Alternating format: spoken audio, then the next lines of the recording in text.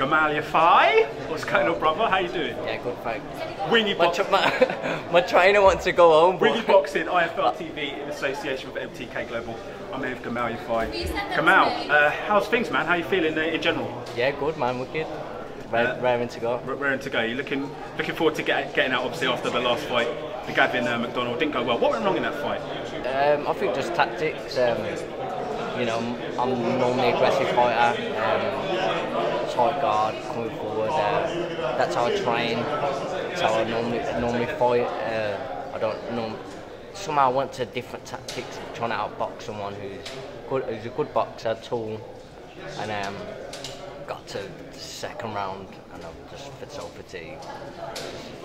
on another level, That's you know that's I mean? what I noticed. It seemed like in the second Yeah. round, you had the intensity at first, in the second half, it Yeah. sort of like So, so I got really fatigued. It was like my body wasn't used to but outboxing someone. You know what I mean? Um, so I got really fatigued and Victor was out. Bloody hell! Imagine if I'd been aggressive how I normally am and just stuck it on him. Um, but I think that's just how my, my body reacts. That's how, what I normally do. Um, that's how, how I train, just being aggressive.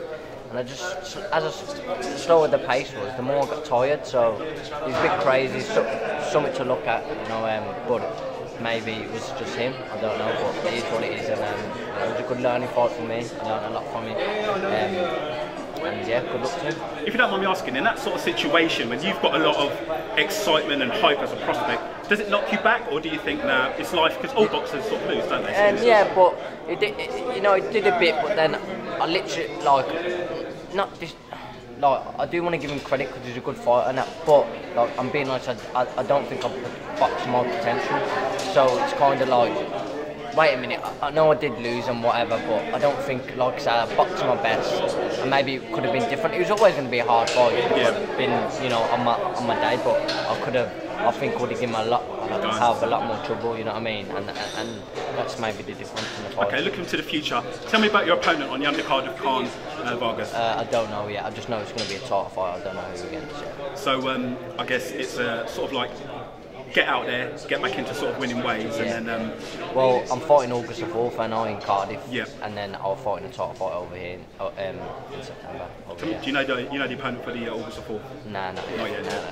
You just get in there and do. I just, I just want to fight, you know, like, like I say, after coming from a defeat and that you want to get back in there.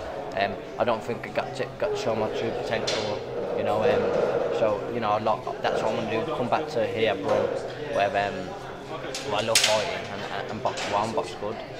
Dogboe's in your division. Yeah. What did you think of his win? Because that sort of surprised a Oh, few people. There's some who called it. You know, now you, now, you know what it is. I'm honest, yeah. You Got a look didn't- your smile on your face. Nah, I didn't, you know me. I didn't call it in it because I just thought, yeah, he's like. He, I just thought he was too good. Might need a good boxer, and he can whack a bit. I just thought it'd be too, like I said, too good. But then early on, I thought, what's he doing here? Dogbo trying to outbox a good boxer, and it wasn't going his way. And then when he started to be aggressive and that, then I thought, shit, he can win this fight. You know what I mean? And then, and you could tell he was hurt every time he was hitting him. He was hurting um, the other lads. I can't remember Magdaleno. So.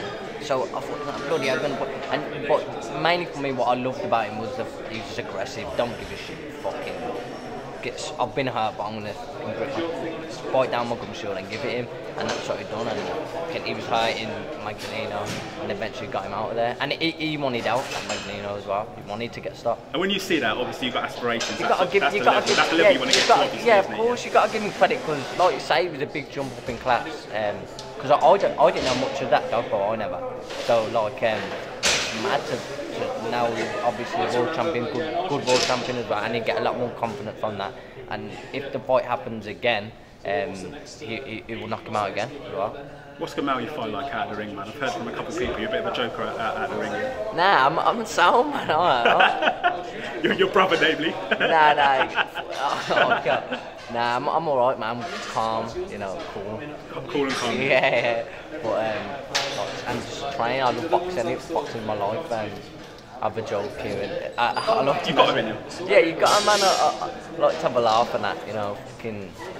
What you know? Life's too short. Yeah, man. And what did you think of uh, Kal's uh, performance uh, Yeah. last time out? Yeah, it was good. Um, he got he got hurt in the first round, scared the life out of me. But you know, um, it happens in boxing. Uh, Got and through it. Got through it. Give him help, and uh, got him out of there against a bigger, bigger, heavier. He was, he was heavier than Kal. Um, the weigh-ins um, showed how good Kal was. Um, just a, you, you know what? People don't realise how strong he is. That's the main thing. He's a good boxer, but he can fucking he can punch and he's physically strong as well. So you know, um, for them flyweights, feel sorry for him. So is it the Roman Gonzalez is next for Kal? Because those big fights, he's craving those, aren't he? Yeah, well- the fans want to see them. He's, he's mandatory, in it, but um, Yeah. he's uh, he Turned wants him to- down once, Yeah, he? he wants a uh, he wants a fight with um, he wants a fight before he fights Kal. Right. So um, he's meant to fight in the Golovkin card in July or June, whenever it was, but um, it fell through. So um, there's talks of it happening in November, Kal fighting him, but I think he, like you say, wants a warm up. Um, so, Wicked. Welcome out. Looking forward to seeing you out in action, getting back in winning ways. thanks, mate. Um, I personally, I'd love to Gavin McDonnell rematch. I, I, I might get a Wingy Kebab Promotions on that to try and get that sorted, One, brother. one day, gi- gi- give me a few months. So I'll Wicked, brother. Thank you for speaking to Wingy Boxing at IFL TV. I'll let you crack on, brother. Cheers, man. Thank you, man.